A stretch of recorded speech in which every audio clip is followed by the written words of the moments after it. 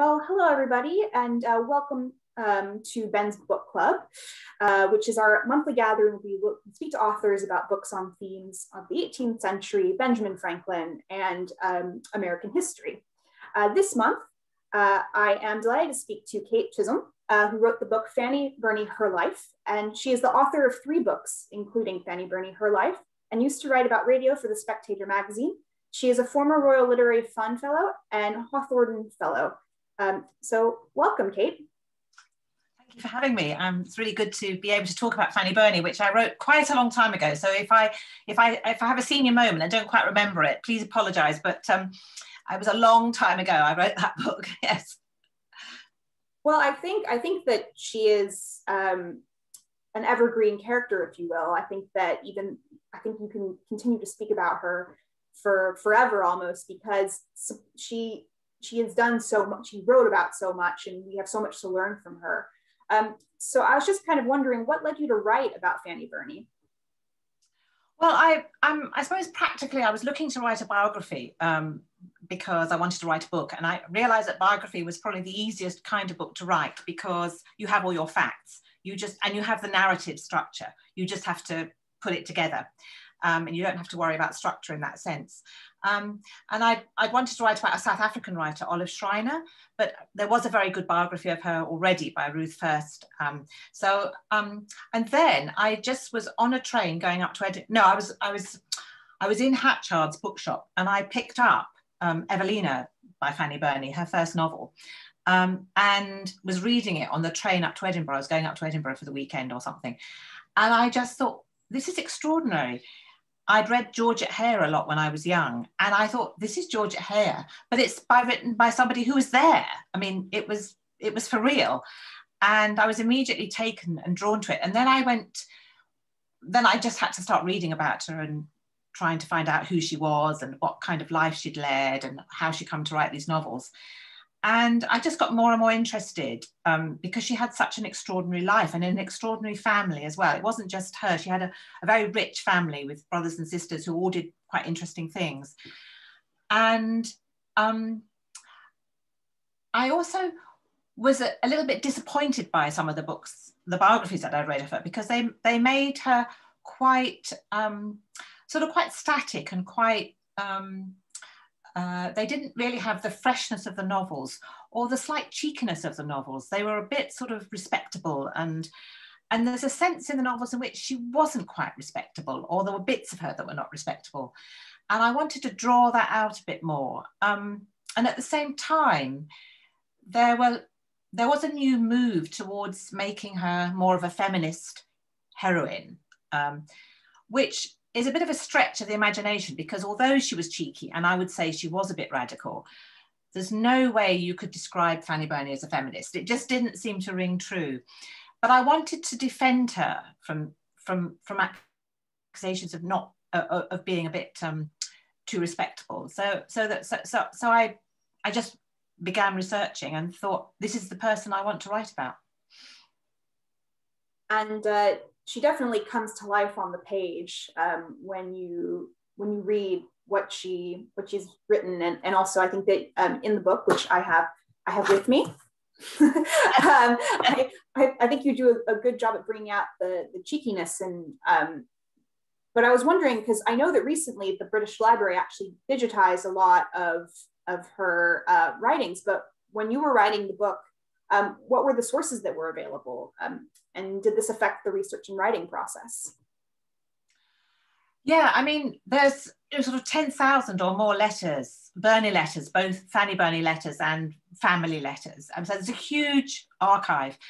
And a lot of them, there's quite a lot in the British Library, but a lot of them are in the New York Public Library, uh, but they're also at New Haven, Princeton, they're all over the place actually. So it was a bit daunting when I first started. I'm thinking, how am I going to get to read all these letters?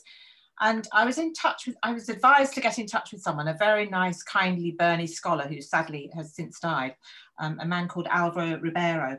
And I, just, I remember having this phone conversation with him, and he said, Well, what you need to do is go to Canada. Because in Canada, uh, the McGill University in Montreal, um, there was a professor there, Joyce, um, Joyce Hemlow, who wrote a biography in 1950s and it's the sort of it was the standard biography. It became the standard biography. It was very thorough. And then she's then set about um, um, an edition of um, the letters edited properly and um, tried to restore to the sort of uh, the state in which Fanny Burney had written them because um, previous publications of the letters had always followed um, a, a heavily edited, heavily deleted versions of the letters. And this was an attempt to bring them back to how Fanny Burney had actually written them.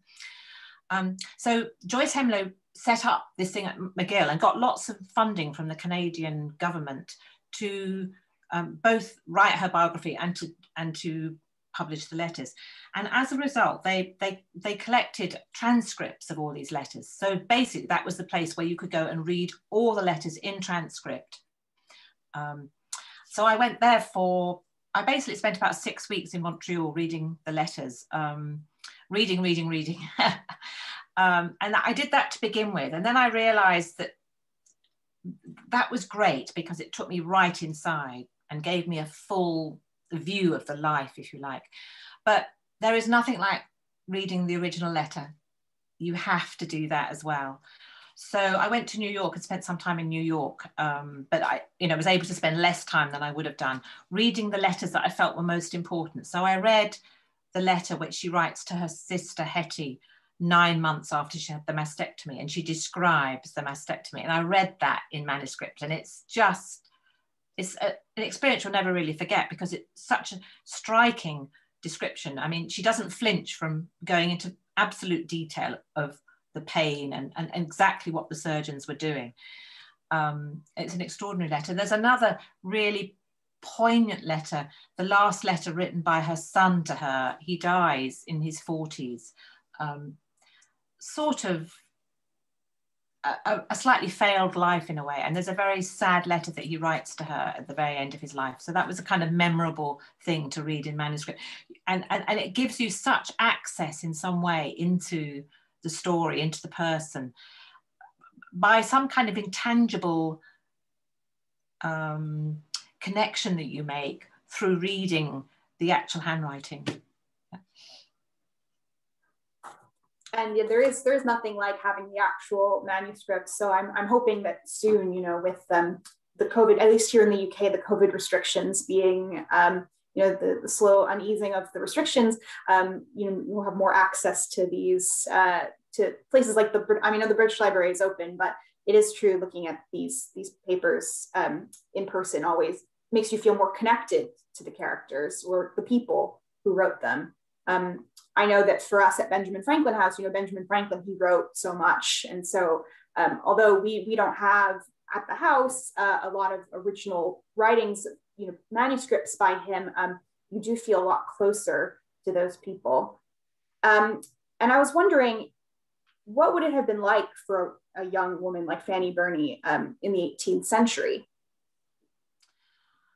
Yeah, I mean, I think it's always important to realize that, you know, there's this kind of standard picture and, and women were independent. Um, I was reading um, a, a, a, book the other day which was about uh, publishing. And look, it's surprising the number of women who were working as printers and publishers in the 18th century. So there were lots of independent women who were running businesses and things like that. And i think it's always important to remember that.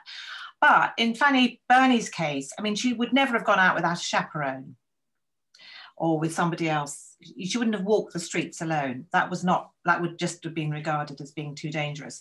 Um, she was not educated beyond primary 11. She went to a school when she was young, up to the age of about 11. But after that, she had no education. Um, her sisters were sent away to school in France. They were sent to a convent school in France. But either because they felt that Fanny was not strong enough um, emotionally to, to, to leave home in that way, um, at sort of 12, 13, or they were more worried that she would become Catholic by going to a camp. They thought she would, she was more likely to become Catholic if she went. I, these are the sort of theories that why she wasn't sent away to school, whereas her sisters did. We don't really know. Um, there was a huge furore when she refused the first man who proposed marriage to her. The family, you know, it was huge family ructions. Um, but he wasn't a man she was interested in. But the fear was that what would happen to her when her father uh, you know, if her father died and she didn't have a man to support her. So, so that kind of situation. Um, she wanted to write, but she spent a lot of time copying her father's manuscripts. Her father was a writer, he wrote about music. And in fact, her first novel, Evelina, um, she copied it in a false hand, the whole manuscript in a false hand, so that the printers wouldn't recognize her writing because she didn't want to be known as the author. Well, she probably did want to be known, but it wasn't regarded as being um, okay for, to be published at that time under your own name as a woman. It was regarded as too public for you to do that. So, so, um, so a she's, she had to spend a lot of time working on her father's books rather than her own. But secondly, she couldn't she couldn't publish um, under her own name, and she had to copy it all in a false hand. Um, she didn't negotiate directly with a publisher. I mean, lots of women did actually, but Fanny Burney didn't. Um, I think they were a slightly, shall we say, regarded as a slightly raffish family in a way. Her father was a music teacher, he was a musician. Um, her one of her uncles was a dancing masters. They were performers and, and, and musicians, and they weren't really, if you like, society people.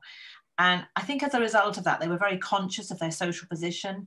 So I think a lot of the reasons why she was much more perhaps prudish than other women, so some society women could could afford to be more cavalier, if you like. But she, so um, she didn't uh, she did she didn't negotiate directly with publisher. Her first comedy and possibly her best was never staged. Um, um, it was her father refused to allow her to take it to Drury Lane or Covent Garden and have it staged, even though people like Sheridan and Thomas Harris, people like that, wanted to put her plays on stage, um, and Garrick, um, she he didn't allow it. Um, in fact, Garrick died in 1779. If Garrick had still been alive, she may have got that through. But because um, uh, um, her father didn't want her to be, I think it was probably because she would have had to have gone to the, the theatre, she would have had to have mixed with actresses, she would have had to have, and also Fanny herself was very shy.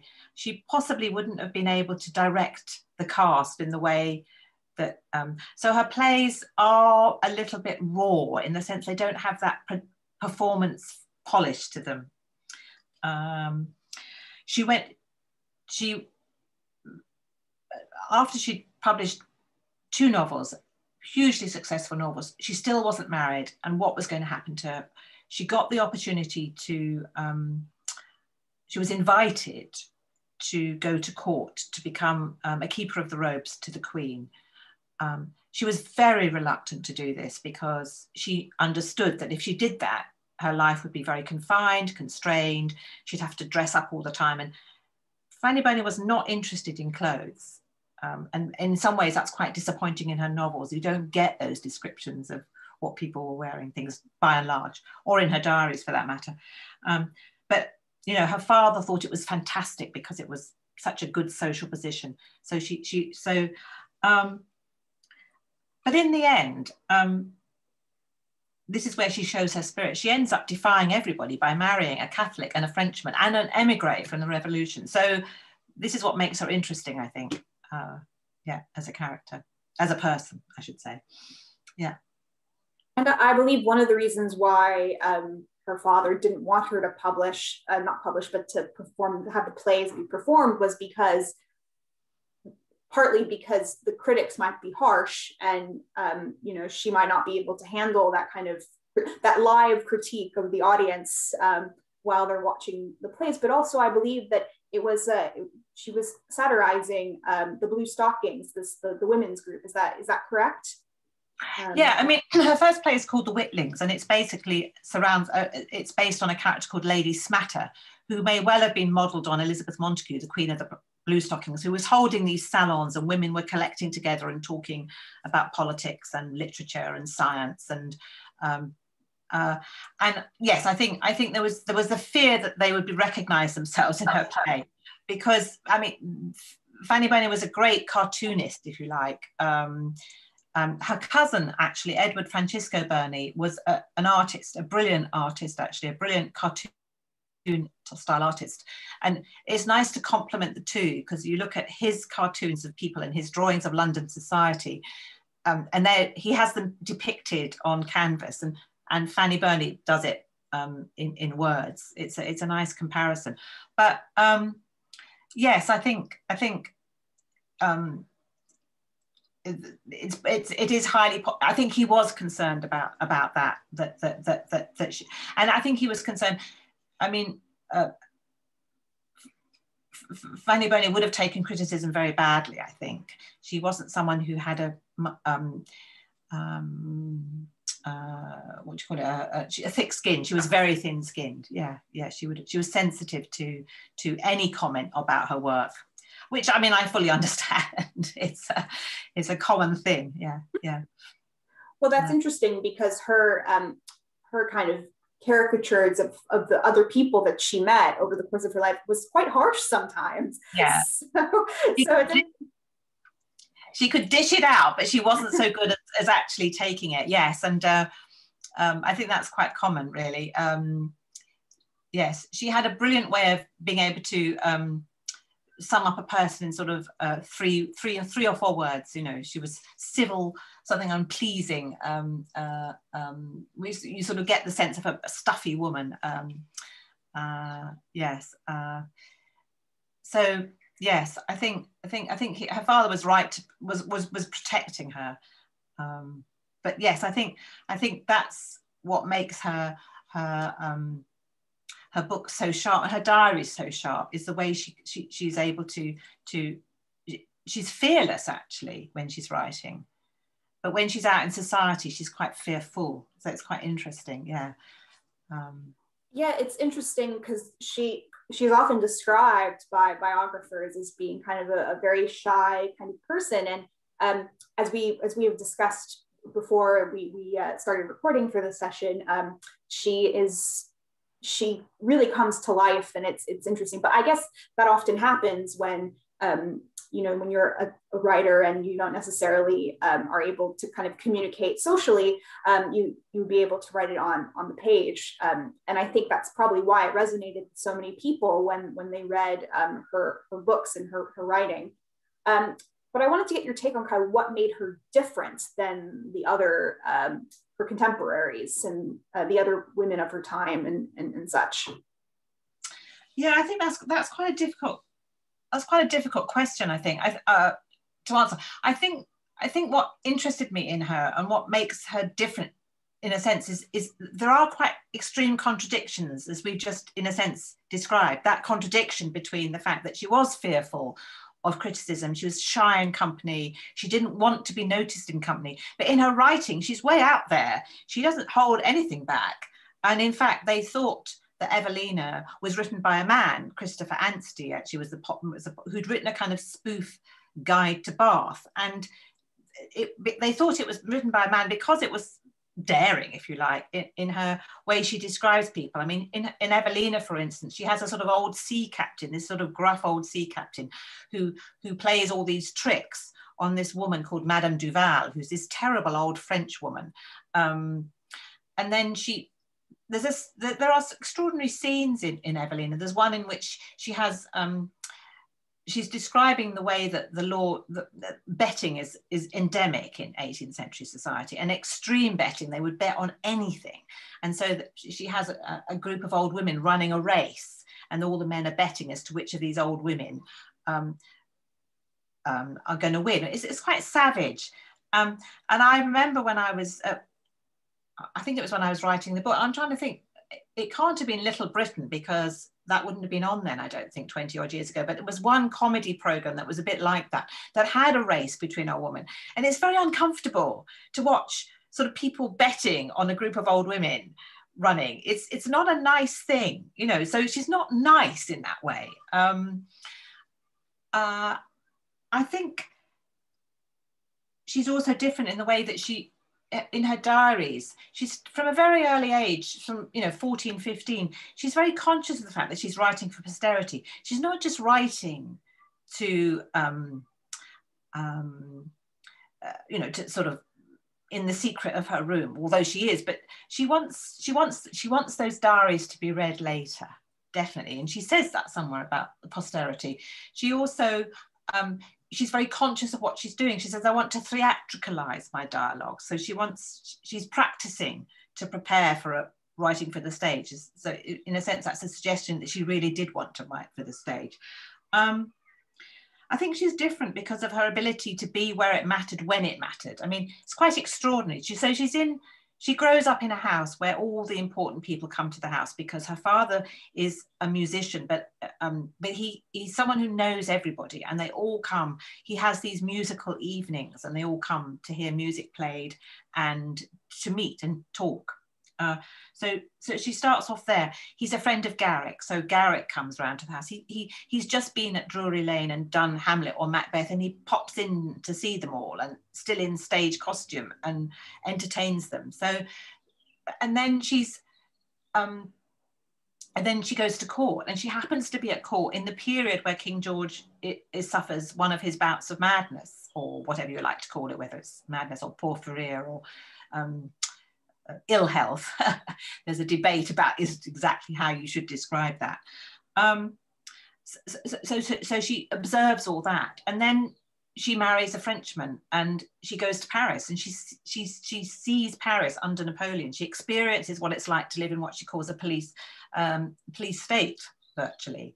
Um, and then she's in Brussels on the eve of Waterloo and hears the guns and has to escape and come back to England um, in that in that period of, of ravaged uh, ravaged Europe really. So so she she she happens. To, so I think that's what makes her different. Is most people wouldn't be at the most pivotal points of history at the time throughout their life, if you like. Um, she even uh, goes to Buckingham House and meets the young, the baby Queen Victoria, the future Queen Victoria. Um, she's about when um, when she's still a baby.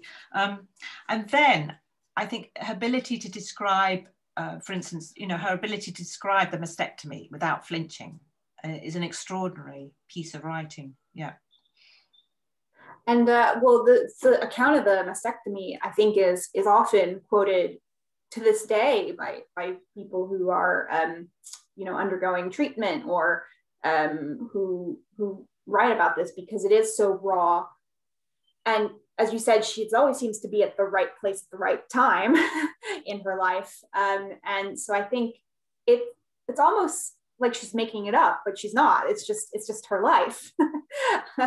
um, so in some ways, she I think that she's definitely achieved that theatr- theatricality because it does seem a bit, um, you know, you wouldn't think that somebody could have experienced all of that. But it, it kind of speaks to how uh, London, well, the society is quite small. mm. um, but she is quite a moving writer. I think that bringing it back slightly to what she wrote when she was at court, um, the kind of the portrayal, obviously the portrayal of the madness, but also um, just the everyday, you know, family dynamics that she saw um, within the court, which is not a portrayal you see very much of the royals, um, especially from that period. Um, so she elicits quite a quite a response in that way, and um, she's very observant, which I think is a good a good skill for a writer. Um, but I know you mentioned before that you you didn't you didn't think that the before you wrote the book that you didn't think that the diaries that were portrayed, um, the sorry, the um, the biographies didn't portray her in a way uh, that kind of echoed her writing. And I was just wondering if do you think that she is portrayed fairly as a person from history? Is she uh, is she portrayed fairly? Um, she's mm, it's complicated. Um, she herself edited her diaries massively before they were published. And she did a terrible thing as well. She wrote a biography of her father, um, a, a, huge, long um, uh, three volume work. And uh, she then destroyed all his letters. So, um, which is sort of um, um, a crime, really, to do such a thing. Um, and so she, her presentation uh, she, she, she self-presents in that, that way. And she kind of wants to ensure that her, the, the, the, the Fanny Burney we know is the one she wants us to know. So it's actually proved quite hard to go back underneath all that. Um, I think, I, th I think that it's quite hard to portray her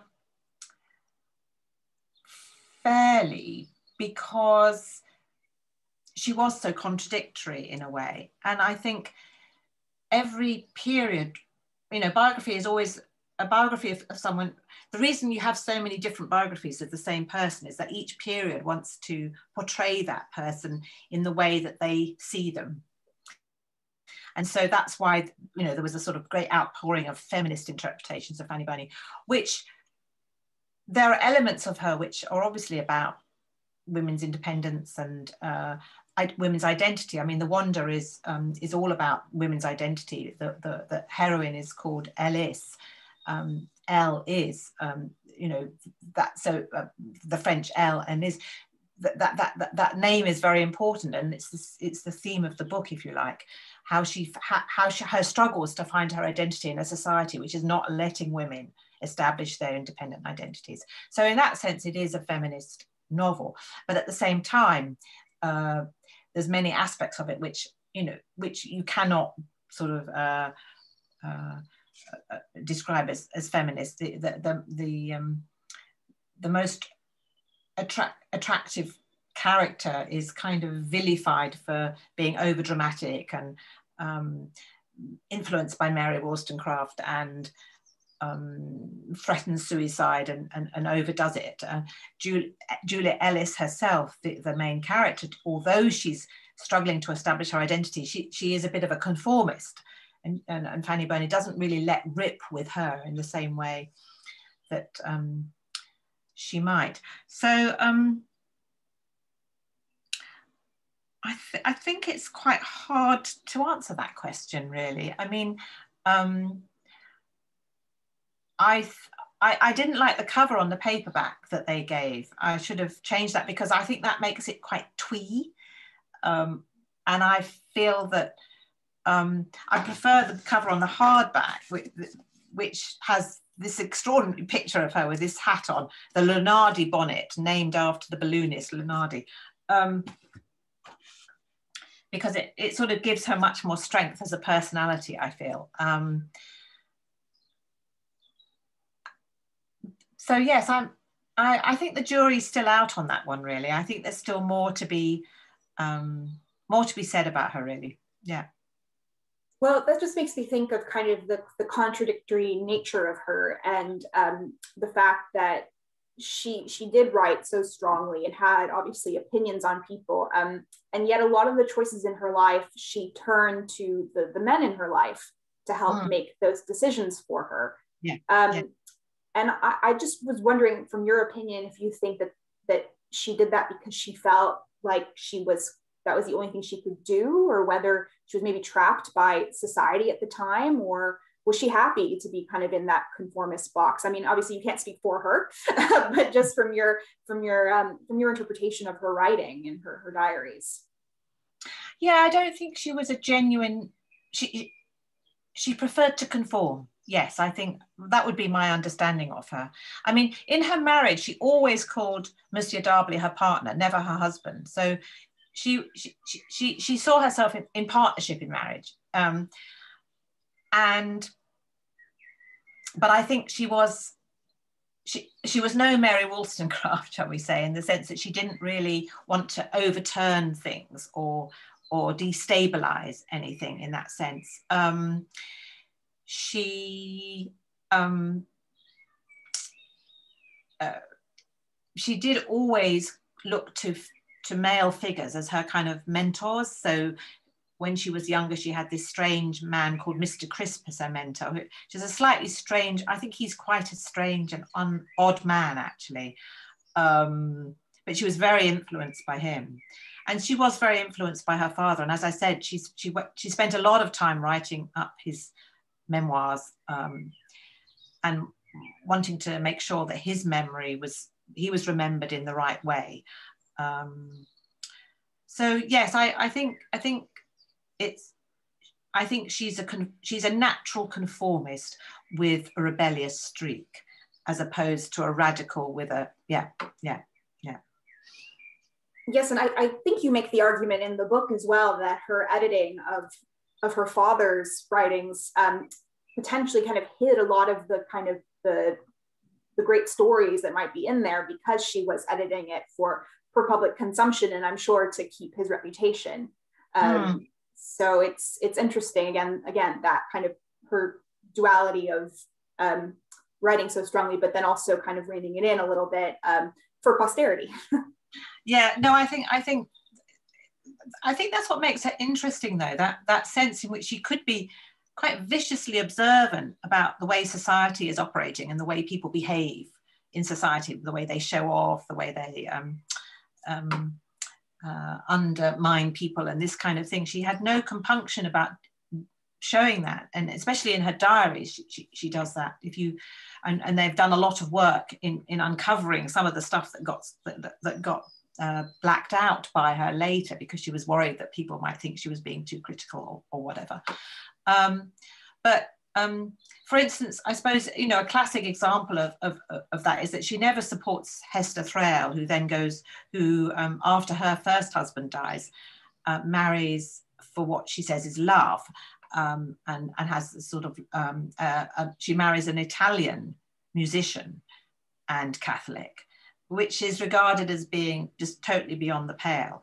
And um, she never forgives her for that. And they were Hester Thrale had, had uh, entertained Fanny Burney a lot and introduced her to a lot of people at, at her because uh, she she had a, a, an estate and a house and, and, entertained a lot, and she, she she sort of took Fanny Burney up and um, gave her a lot of encouragement and and, and, and, and, and, and took her into society in many ways and another kind of society.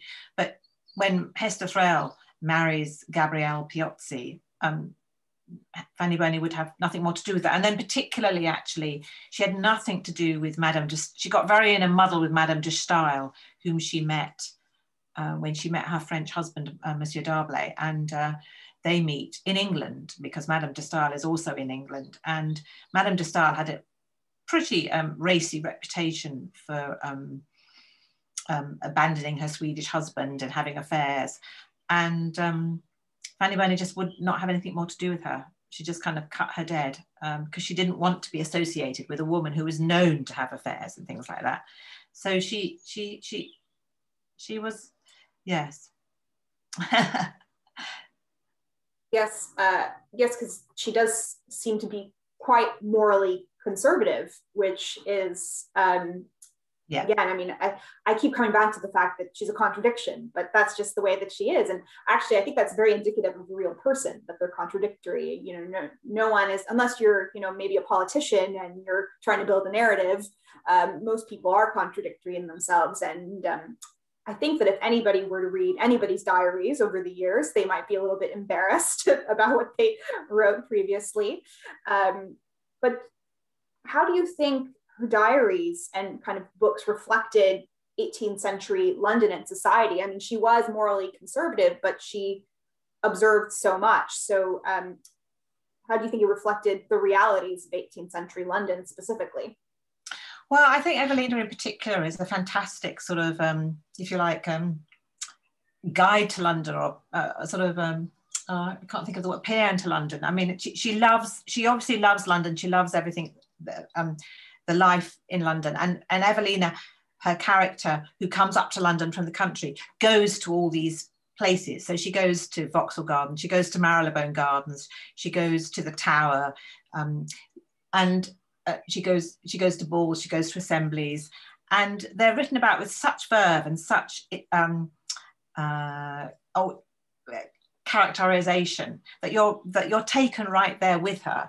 Um, and she doesn't just write about the fashionable places she writes about some of the seedier places. So she so she writes about vauxhall gardens but she also writes about marylebone gardens which are the sort of sub sub pleasure gardens and then sadler's wells which is where Sadler's Wells was where this kind of footmen and the, um, the, the, the, ladies in waiting went when they were um, the uh, chambermaids and things went on their days off. They went to Sadler's Wells, whereas the fashionable were all congregating at Vauxhall Gardens.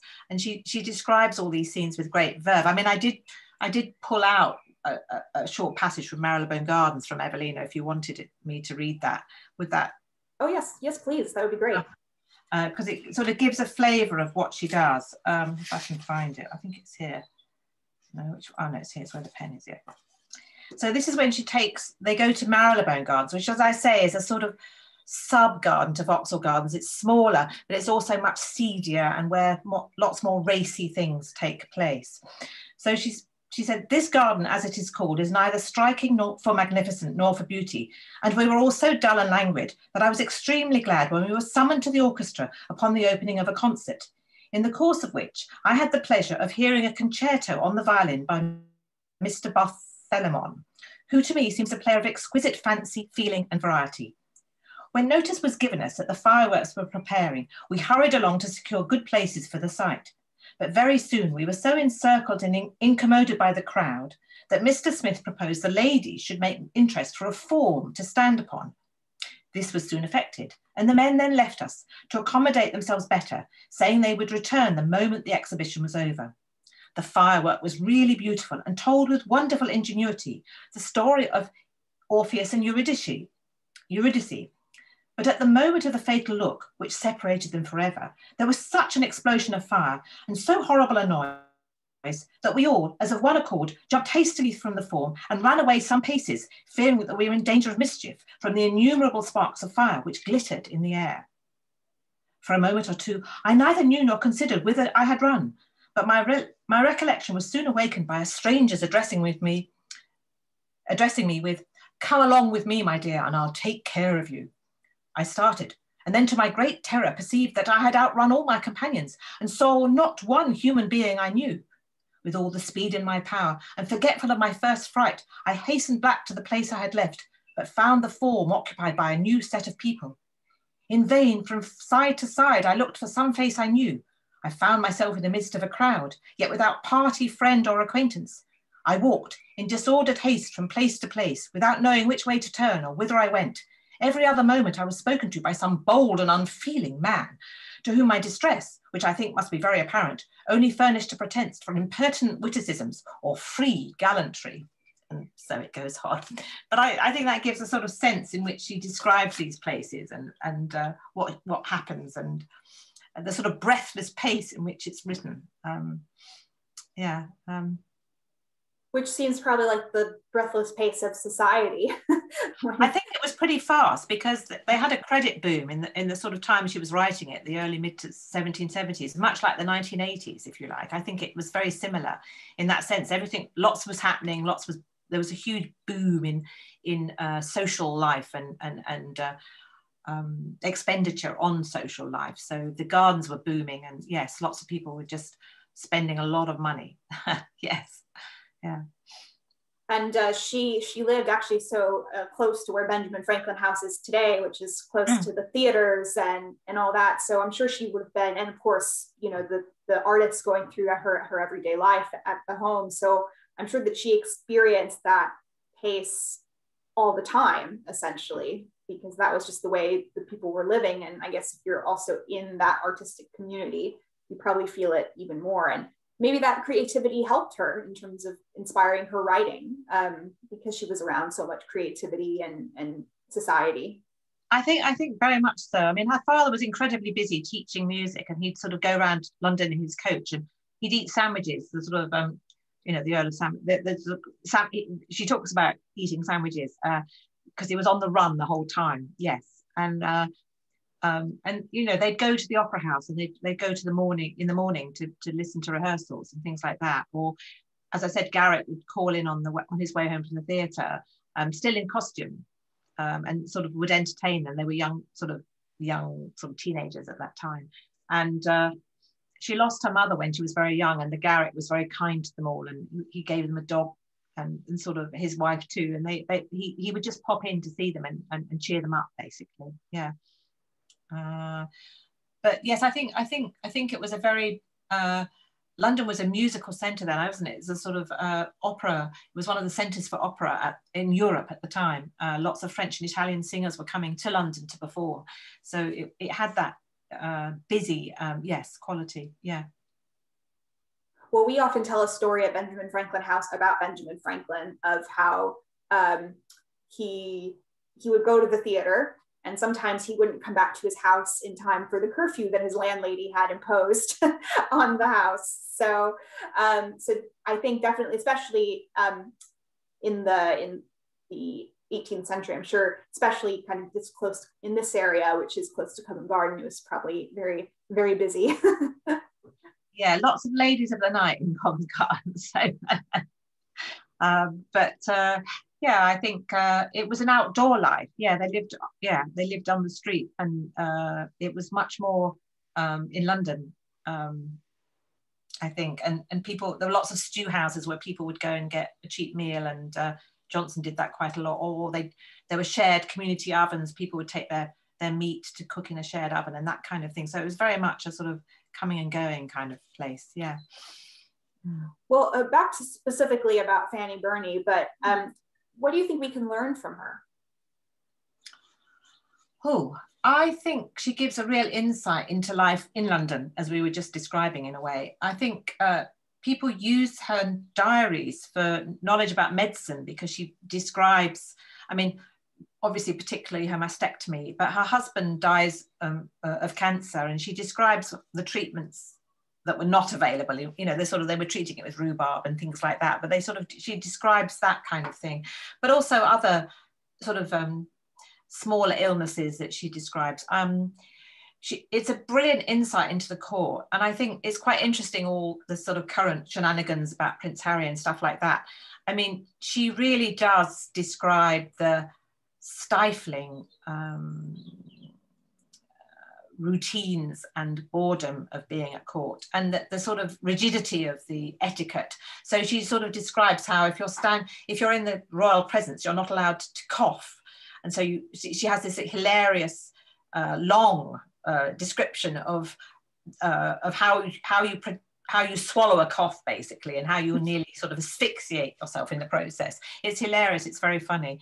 She also describes the, the terrible business of having to withdraw backwards um, you weren't allowed to turn round in front of the uh, king and queen. You had to with, retreat backwards. Um, she describes how when they, you know, when when they when when when they went on a royal sort of visit, um, she would have to stand waiting on uh, so the king and queen would be having their dinner, but the the the the, the, the retinue, if you like, the, the ladies in waiting and the keepers of the robe were not allowed to sit down, who didn't sit down and eat, obviously, with the, the king and queen they just had to stand there and wait. So they had no dinner or anything, and they had to wait until that was all over before they could have anything to eat. That that the, the terrible boredom of having to get up every, the same time every day. So she had to get up at six to be ready at seven if the Queen wanted her to help dress, and then you go through the rhythm of prayers at eight and and and, and sort of hairdressing then came at nine and this kind of thing.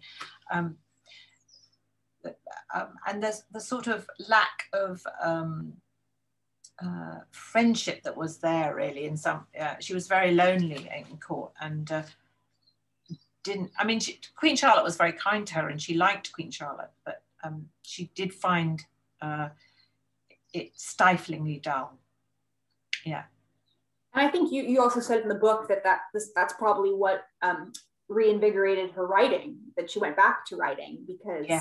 Um, yeah. because it was so dull and not what she expected and um, that I, there's also a very amusing passage about how she describes how she's when they're when they are walking she has to be even behind the chambermaids and and yeah. all of that that she's not at she's not although it was obviously a very privileged position to be in the court um, that it wasn't exactly what she would have maybe expected from such a such a privileged position so.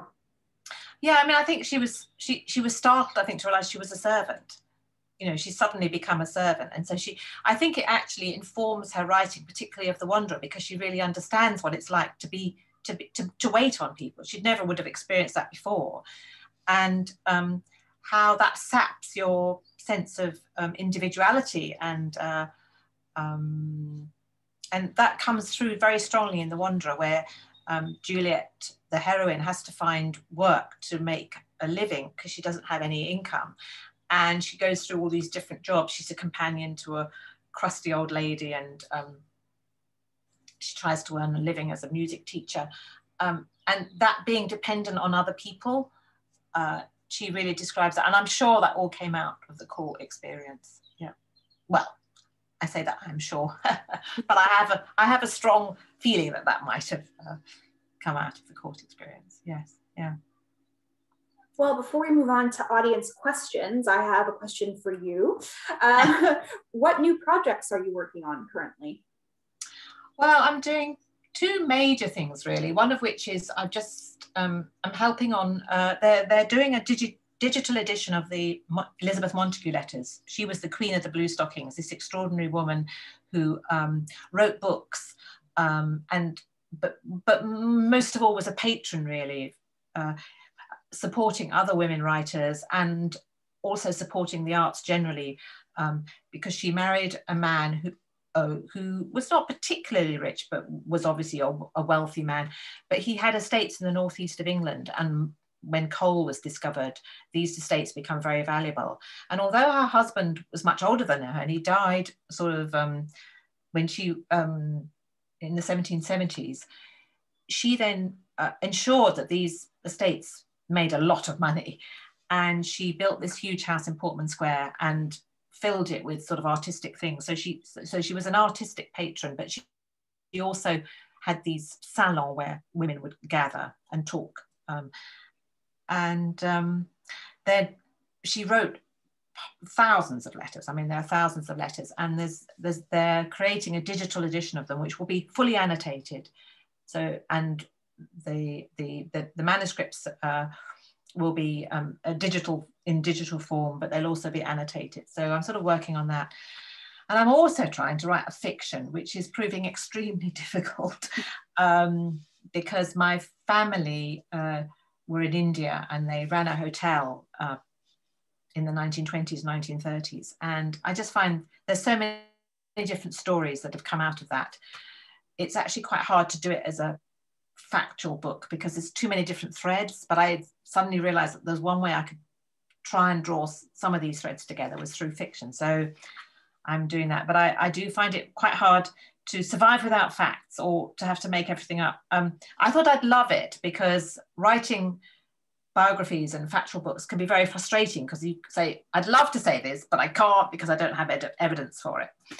Um, and so I thought I'd really enjoy writing fiction, which I do, but it's also pretty scary because you um, you just have to fly with it. you don't know whether it's got uh, ballast or ground beneath you. You just have to keep going. So yeah. Great. Well, we do have questions. We've had questions that have been appearing while we've been talking, so that's right. very exciting. Um, so the first question we have is, how widely is Fanny Burney taught in literature classes today and in what context? Well, that's very interesting. I mean, I think there's been a big revival of interest in her. Um, the Fanny, the Burney Society was set up originally by some Americans actually who were great fans of Jane Austen, and they they thought, well, actually, there should be a society to Fanny Burney as well. And to begin with, it was kind of just a few enthusiasts really, but now it's become quite a big academic pursuit and there's a UK society, the Fanny Burney Society, so do join if, you, if you're interested. Um, but, um, and they hold conferences and, and there's been quite a lot of research. But um, she's taught more in America, I think, than she probably is here. They're much more interested in the 18th century in America than they are here. The 18th century is not a hot topic here, much to our distress, really. Um, it's fallen out of favor. Um, and um, there are there are people who study Fanny Burney at sort of master's level, but I'm not sure whether Evelina would be taught in a, on an undergraduate syllabus here, whereas it definitely would be taught in America. That's really interesting. I, I I wonder if you have, I mean, other than the fact that they i mean maybe they studied more the 18th century these days in america but i thought it was interesting as well that you said that most of her manuscripts are in places like new york and mm. their projects in in canada yeah, yeah. yeah. So, i mean it's, it's crazy that the, the, the burney center is at mcgill university in montreal and yes it was joyce hemlow who is originally from uh, um, nova scotia um, was the person who, who really got Fanny Burney's studies going again. Her biography was published in something like 54, 55, something like that. And uh, she then decided that she needed to, she wanted to publish, she wanted to um, publish uh, um, editions of the of, of, the diaries that were that, that were that were carefully edited and, and actually took us back to what Fanny Burney had written because when she was writing her biography she realized how much the, the letters had been um, edited and covered over and deleted and stuff like that. And even actually in the British Library a lot of them were being pasted and not pasted in sequence. So they come out of sequence and uh, so uh, she wanted to put that that right. So she so she started it off and um, it, it's puzzling why, uh, except that I suppose you know America was formed in the 18th century, you know, through the the, the war.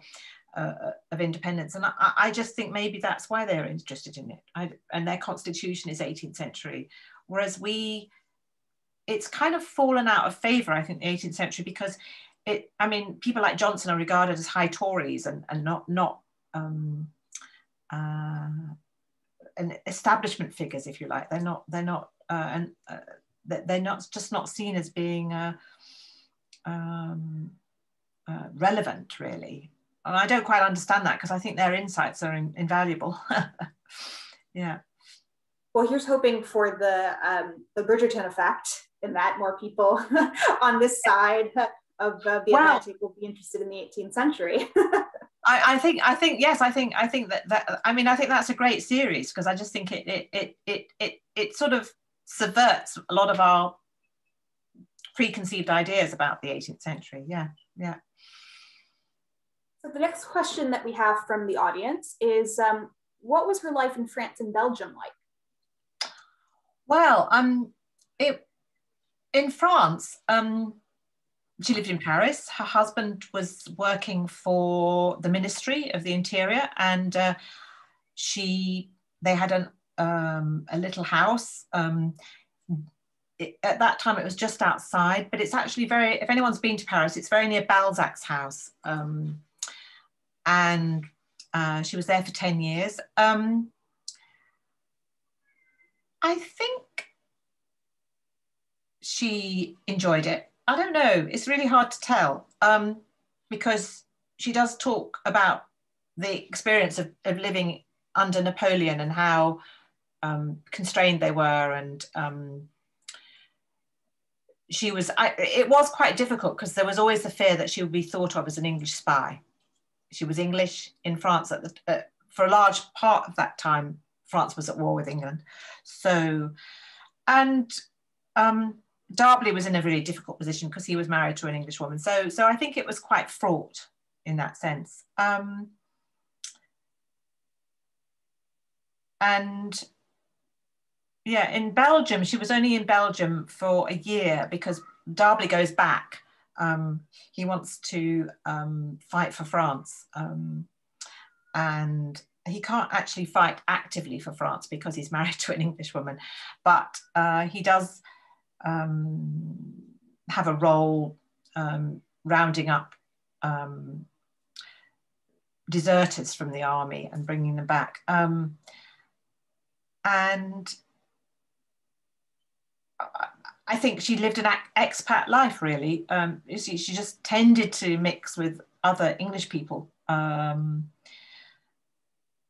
I think that possibly betrays her slight. She wasn't very European in her being. We were talking about her being quite uh, conformist, really, and I think she was.